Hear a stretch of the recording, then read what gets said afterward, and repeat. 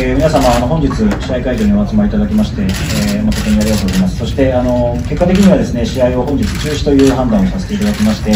えー、せっかく会場にお越しの皆様大変申し訳ございません、えー、レガマ北海道の選手3名ですね、えーと、体調不良の選手があの今日の朝から、えー、試合開始までに3名の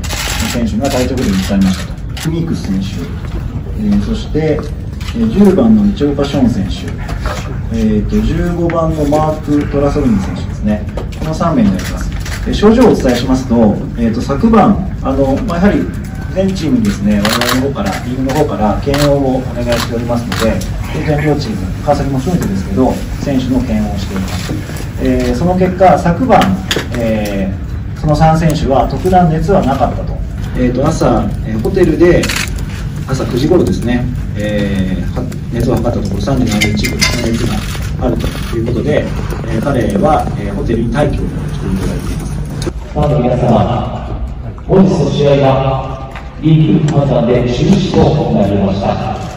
明日の試合は未定です。